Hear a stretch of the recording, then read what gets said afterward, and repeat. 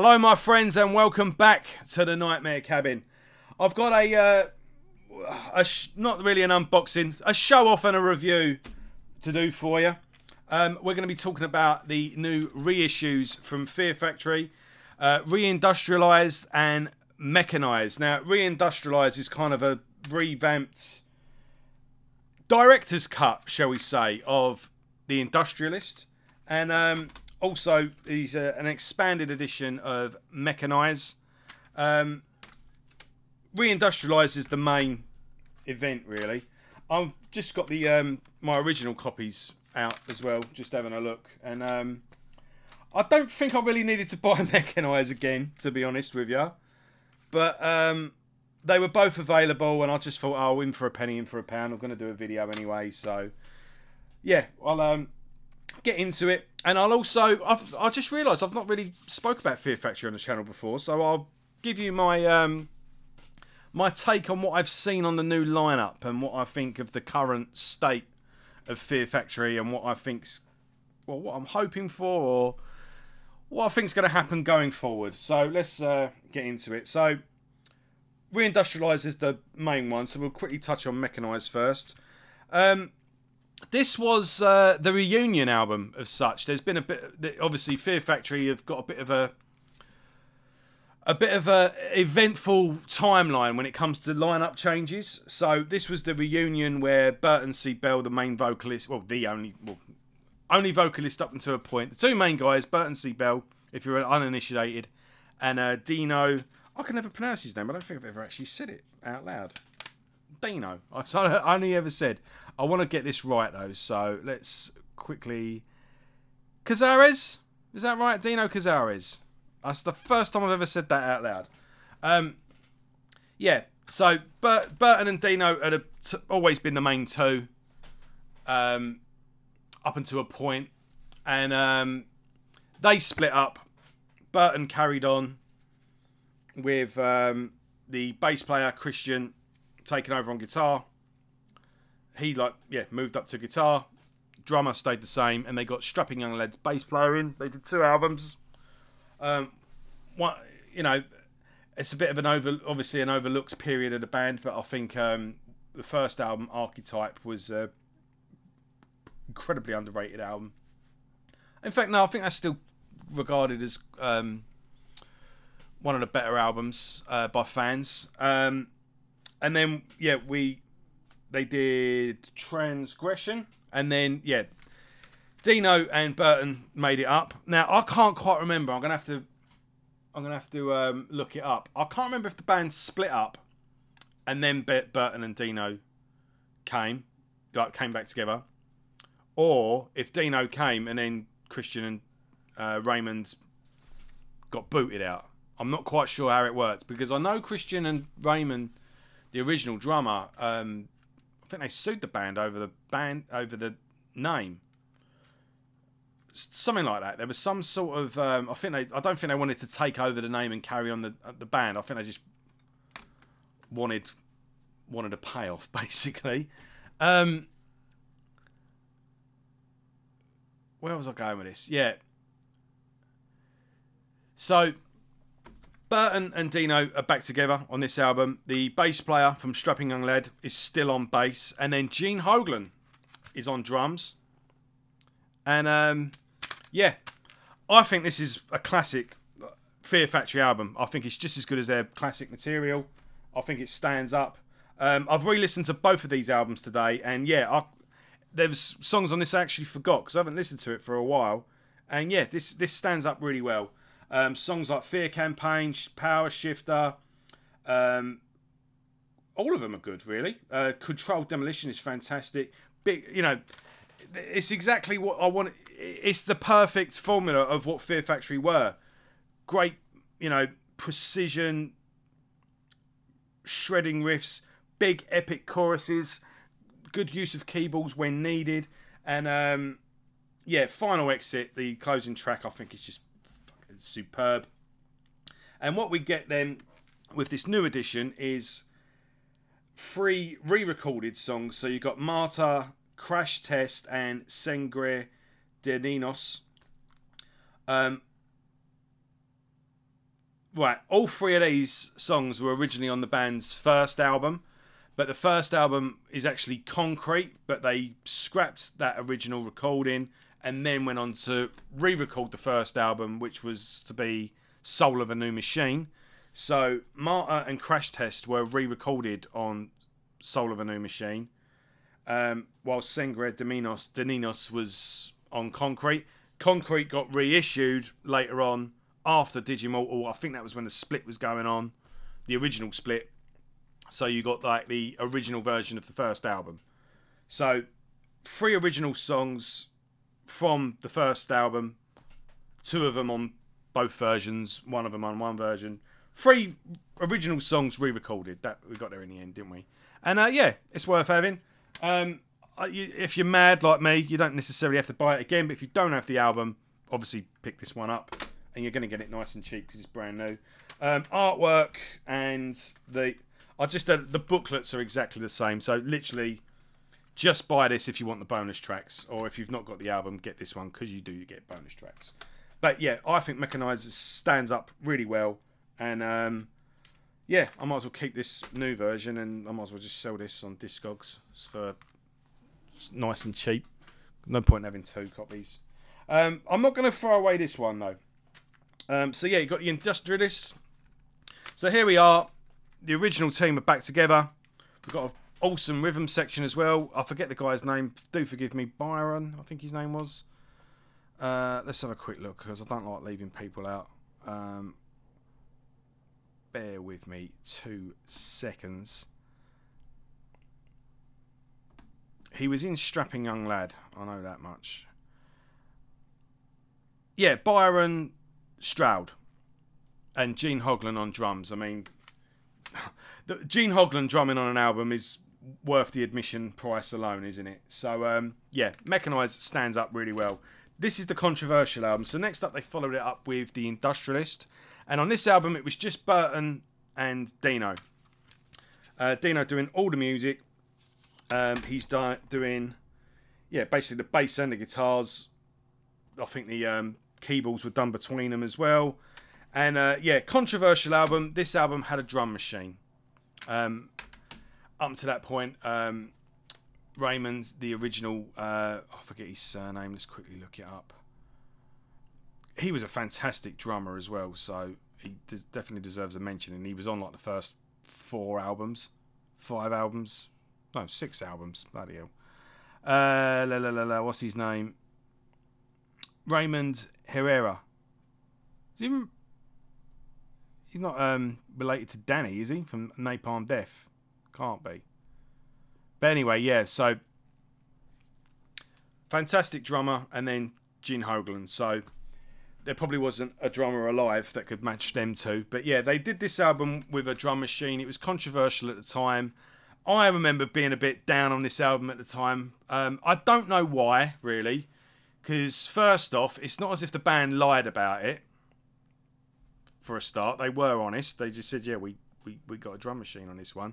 And there's an industrial, you know, element to the band's sound, as well as a dystopian cyborg man meets machine theme to the lyrics. So the technology taking over kind of played in with the mythos of the band, really.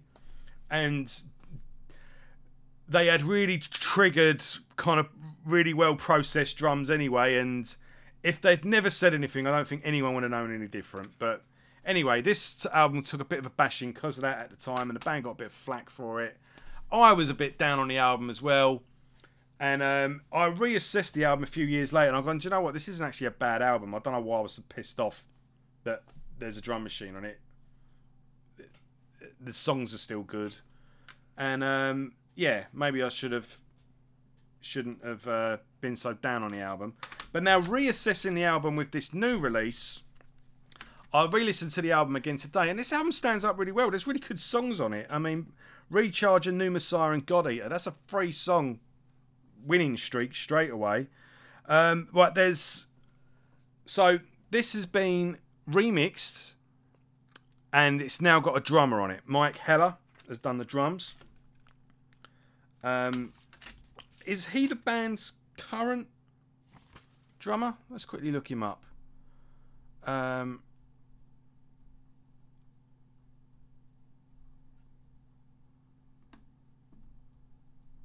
no, he's not the current drummer, but uh, let's look him up. Uh, Mike Heller. Oh, so he was in Fear Factory for a while. Um, what did he do? What did he do? Oh, he was on. Oh, he's been on the last two albums. So yeah, he. Oh, he was in World Under Blood. Successful right. Successful right. Apocalypse Across the Sky. Disembowel. What is he in now? Oh, as uh, Imot, the um, Mike from Monstrosity's other bands. They're really cool, kind of proggy. Oh, this guy's done quite a lot. Malignancy, Raven. Um, yeah, Wretched, Wretched Pain. Yeah, the guy's, yeah, the guy's definitely done the rounds. Uh, yeah, so he has he has now recorded the drums for it. So we now got the same album, now with live drums, and been remixed. And um, you've got an s- extra song on here called Enhanced Reality. Now, apparently, this was written during this session but wasn't finished, and it was as a bonus track on is it Genesis, the next album? Um, but now they've put it Genexus, that's it. I was Genesis. Um, so it was a bonus track on that album, but now it's been put where it belongs in the sequence of this album. Plus, you got um, two remixes, which I'm not really. I don't really care for remixes. Um, Fear Factory do like a remix though, and there's a couple of. Excuse me, because you've got demanufacture and then you've got remanufacture. They've put out a couple of albums now where it's just remixes, and remixes are always in their in their um, bonus tracks as well. Plus, I had a quick listen, but I'm just not. I, I don't really care for them. Um, and then you've got um, three bonus tracks tagged on at the end, and they're all covers. You've got uh, Landfill, which is a Pitchshifter track. Um, for those that um, no Pitchshifter, for more of their like prodigy days from you know Genius and stuff like that. Yeah, they're actually more of an industrial band at the beginning, and um, yeah, it's pretty good take on a on a pretty cool song. You got a saturation, sa- saturation, which is a Sonic Violence cover, and a passing complexion, which is a big black cover. And um, to be honest, I don't really know the original versions of that, but they sounded all right on this. So um, yeah, you've got like I say, one more time, remixed, live drums, which is what everyone wanted, and an extra song that was meant to be on the album is now put in with a couple of bonus tracks on the end. So think of this as the uh, the director's cut of the. Uh, think of uh, when George Lucas went and added all, all those scenes to Star Wars or something like that, you know. Um, so yeah, I think I think it's worth having both because you've got the companion piece. Bit like with Nevermore, with the uh, two mixes of uh, the politics of ecstasy. Is that the album? I'm looking right at it. Where is it? It's not Enemies of Reality, is it?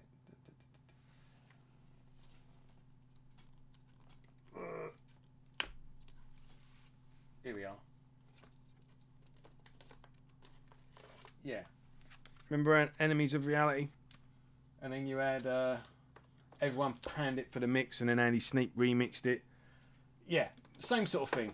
Everyone kind of kept the other one, didn't they? Because you can compare the two. Um, I don't mind it really when a band revisits an album and kind of corrects a thing. I did, um, and oh, there's one thing as well. I went on. The band put this up as a stream, and people were complaining that it didn't sound any different. And um, I got a stream. I listened to this on earphones like I've got in now, and I had both albums on each window, and I was literally doing 30 seconds by 30 seconds. You can hear the difference. I I'm one of these people. Uh, it bores me when people talk about production and mastering and stuff like that. Um, on particular, Virus of Faith, you can particularly hear it on that. There are some points uh, at the beginning when the album kicks off, you do kind of think, "Oh, this doesn't sound no different." I mean, it's all triggered and processed anyway, but um, digitized, shall we say? But um, no, the more you listen to it, and the more you go back and forth and back and forth, and I was doing it all over the songs. Yeah, and um, it does it does sound more organic. It does sound better because even like a like some part it's like you know like a machine machine gun. It would be like literally like it's like loads of little really fast tapping, while this it's like you know it's it feels human. You can tell that's a human playing because he literally could not do drumming that precise as on the thing. But have both, you know. Get if you've if you've already got this one, get it again as a uh, companion piece. And uh, yeah, don't bitch about the drum machine because the songs are still good and yeah, it's nice and corrected. I like the artwork as well. The difference in the uh, artwork. I think it's pretty cool. And you know what? I, I fucking love Fear Factory. It's got to be said. I mean, I dive in and out, but Fear Factory are one of those bands that um, I've maintained an interest from from the beginning. Really, I, I, I vividly remember the first time I heard a Fear Factory song, and I was just blown away. It was the first time I'd ever gone into a nightclub, a nightclub that played metal, and um, I remember going in there that time. I remember lying to the bouncer, you know, sort of sneaked into nightclubs and whatnot at that point, but I'd never been into one that played metal before, and it was like stepping into a different world. I was completely changed that night, and um, and I remember, ha, you know, and hearing replica for the first time in this club, surrounded by crazy metalers going mental. Yeah, it was great, and yeah, I've I've always kept up with them really. I've always you know maybe not been that too bothered at you know they've kind of stopped and started and there's been gaps. But i've always been curious to what the new album sounds like and always wanted to check out you know i've never been completely put off them and um even if i just listen to it just to just to see what it's like i've, I've always been happy with what i heard and you know with so many albums coming out, I might, you know, I think Mechanize I kind of listened to enough just to do a review and moved on pretty quick. But yeah, I think these are two. I think these albums have been sort of put on the shelf for the time being, and um, this is a period of the band that I think's overlooked, and I think is now the time to um, get yourself reacquainted revisit these albums because they are very good. I think people tend to just go to the first like three or four albums with Fear Factory, and no, the later stuff it weighs up, it it, it matches, um, it holds up to the classic material, you know. Um, right, and now I'm going to give you my verdict on um, the current Fear Factory. Um, I've got high hopes. I've got to be optimistic. This guy that they've got is very talented and is a very good vocalist. The um, I've watched various video clips. They are playing London in November, and I'm probably I've, I've, I've got a lot of stuff to pay for at the moment. But um, if it doesn't sell out, I'm going to try and get a ticket to that. Just out of curiosity alone. Uh, yeah, he's young.